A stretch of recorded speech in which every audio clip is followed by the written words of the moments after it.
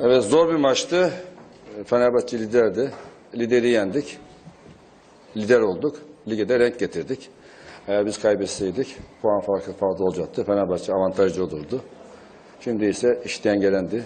Hemen hemen tüm takımlar ortak yarışa devam ediyor. Çalıştı. Hatalarımız da oldu. Zaten hem gol yedik hem gol pozisyonları verdik. Ama artılarımız da vardı. Ee, Burada bütün oyuncuların emeğine teşekkür ederim. Seyirci desteği olağanüstüydü. Evet sağ dolu değildi ama gelenlerin müthiş desteği vardı. Ee, Başkanımıza ve Ahmet Nur teşekkür ediyorum motivasyon için. Ee, Bir takım olgusu içerisinde sahaya çıktı. Bütün oyuncular kazanmayı istedi ve 3 puan aldık. Mutluyuz.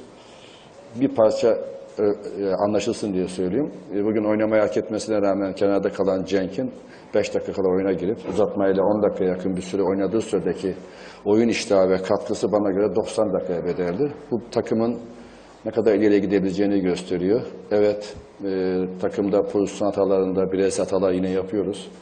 Onları da düzeltebilirsek ki milli maçlar haftasından sonra bu daha iyi olacağını düşünüyorum. Eğer bu dönemi aşabilirsek çok daha güzel sonuçlar alabiliriz. Şimdi lider gibi büyük takım, birinci takım gibi yaşamak durumundayız. Ona uygun olmak durumundayız. Her maça 3 puan için çıkmalıyız. Ama aynı zamanda iyi futbol oynamamız, üstün futbol oynamamız gerekiyor. Her maçın bir hikayesi var. Maçtan önce çok hikaye yazmak isteyenler oldu. Yazılıyor da. Bazen kadro yapanlar var. Bazen hikayesini anlatanlar var. İşte e, bilgiler verenler, işte kazandı, kaybetti. Bunun psikolojik baskısı benim değil ama takım üzerinde, oyuncu üstünde, üzerinde olduğunu düşünüyorum. Ama hikayesi mutlaka olacak ama o hikaye bizim için yok. Bizim için hikaye olmaz, gerçek olur. Biz bu maç bitti. E, tarihin sayfalarına yazıldı, o konuşulur. Ama biz Lisbon maçına hazırlanacağız. Maçtan önce işte Beşiktaş yenemiyor, Şenol Güneş kazanamıyor düşüncesi çok kullanıldı. E, şimdi de geçen sene 3-0 yenmiş, şimdi 3-2 yendik. En son hem kupada hem ligde onları yendiğimize göre biz mi onları tersine çevirelim bu hikayeleri? Biraz bu tarafı hikaye kısmı çok konuşuluyor. Futbolun gerçeğine bakarsak daha güzel futbol, daha iyi sonuçlar alacak oyun anlayışlarını ortaya koymak lazım. Ama bugün için Beşiktaş hak etti, kazandı diye düşünüyorum. Fatih Bey. Hocam tebrikler. Kazanmak için bize bir gayreti yoktu. Ama Fenerbahçe öyle düşünüyorsa niye düşünüyor diye söyleyemem. Çünkü bazen söylemlerimiz başka yere gidiyor. E, Bugün faullerde ve kartlarda birçok pozisyonda Fenerbahçe'de verilebilirdi, verilmedi. E, Ersan'a gösteren ilk kartın benzeri çok daha önümüzde oldu birkaç tane. Hiç kart göstermedi hakem. Bir tercihtir. Ama işte gol olduğu zaman bizim mesela yediğimiz golde hata yapan oyuncularımız var. İlk faul atıldığı zaman uzun topa pozisyon almayan oyuncularımız var. Out diye bırakan oyuncularımız var. Onları ben hata olarak görüyorum.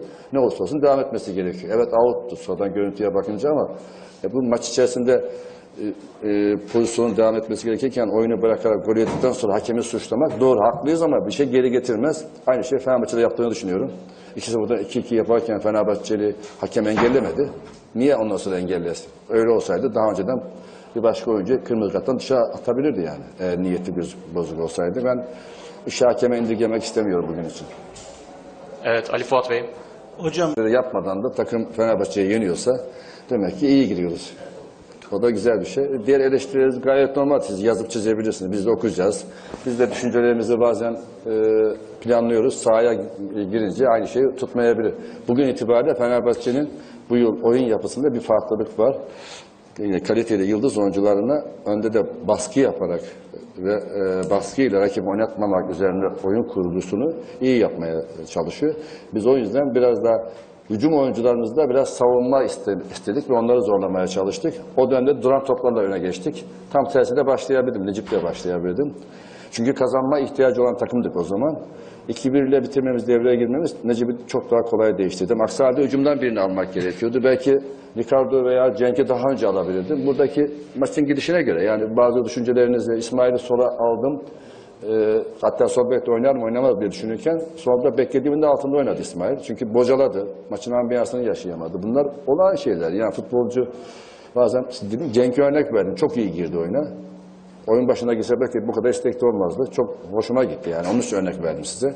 Bunun tam tersi de olabilirdi. Girip hiçbir şey yapmayabilirdi. O zaman da yorumlamanızda haklısınız ama ben size ortak alamam. Siz yazın, çizin, biz de okuyalım. Evet Sezgin Bey. Hocam tebrikler.